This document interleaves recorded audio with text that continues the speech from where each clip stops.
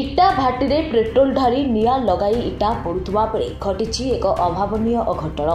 ଜଣେ ମହିଳାଙ୍କ ଦେହରେ ଲାଗିଲା ନିଆଁ। ଶରୀରର ଅଶୀ ଭାଗ ପୋଡ଼ି ଗୁରୁତର ହେଲେ ମହିଳା ଜଣକ। ଏଭଳି ଘଟଣା ଘଟିଛି ଗଜପତି ଜିଲ୍ଲା ଅବଡ଼ା ଥାନା ଅନ୍ତର୍ଗତ ରାଇଜୁକା ଗ୍ରାମରେ। ସୂଚନା ଅନୁଯାୟୀ ଆଜି ସକାଳେ ଇଟା ଭାଟିରେ ପେଟ୍ରୋଲ ଢାଳିବା ସମୟରେ ଅଚାନକ ସୁପ୍ରିୟା ବାସ୍ତରାୟଙ୍କର ଦେହରେ ନିଆଁ ଲାଗିଯାଇଥିଲା।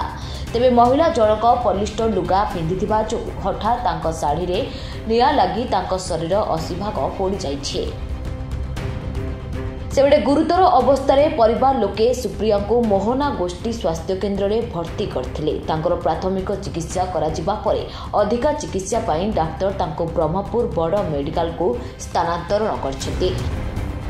ତେବେ କେଉଁ କାରଣରୁ ନିଆଁ ଲାଗିଛି ତାହା ପୋଲିସ ତଦନ୍ତ ପରେ ହିଁ ଜଣାପଡ଼ିବ।